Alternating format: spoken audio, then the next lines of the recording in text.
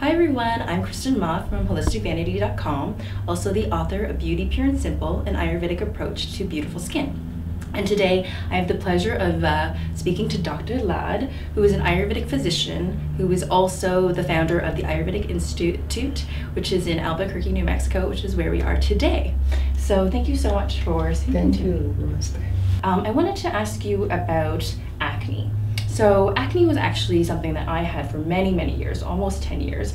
Um, and I wanted to get your opinion on how to uh, look at acne and treat acne from an Ayurvedic perspective. And I know this is quite complex because everybody has, you know, different dosha different. Um, environmental um, stressors, but if you could give some general uh, insight into uh, acne, would be great. So acne is bump, pimple.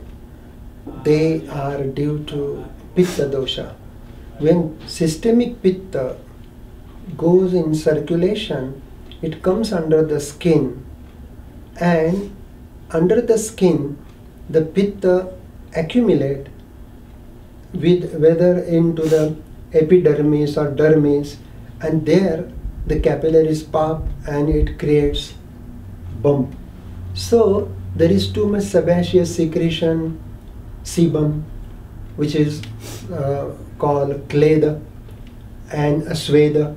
So these people whose uh, sweat is acidic, who have excess pitta under the skin, and they prone to get acne. Generally, pitta girl or pitta woman during menstruation, estrogen is high, pitta is high for ovulation and menstruation. Then during earlier couple of weeks before the menstrual cycle starts, these pitta girls get acne on the face, teenage. Mm. Especially teenage is the age of pitta. And then when menstrual flow happens and bleeding happens, then estrogen level drops down, pitta calms down, and naturally these acne disappear.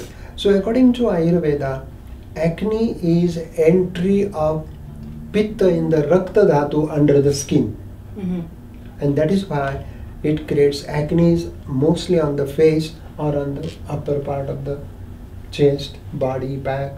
Sometimes some people have acne all over the trunk. Right. So this is a high pitta disorder.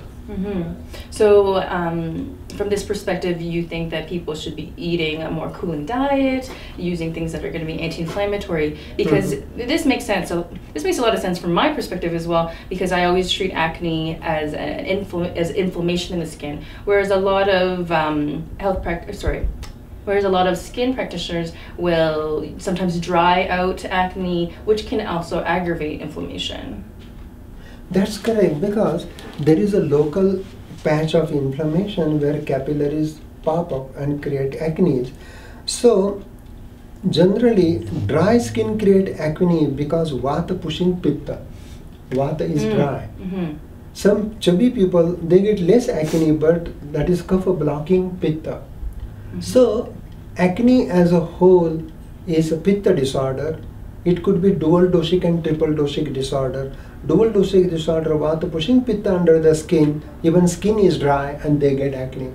And kapha pushing, uh, uh, kapha blocking pitta under the skin, their skin has more oily secretion and they get um, bumps or uh, pimples. Mhm. So if we look into the Samprapti pathogenesis, these are subtleties monodoshic, double doshic, and triple doshic uh, pimple or acne disorder. hmm So what you're saying is that obviously we need to look into each individual and what's pushing or what's aggravating Correct. pitta, but all acne has a pitta role within Correct. it. And moment ago you said, which is beautiful, that what we eat plays very important role.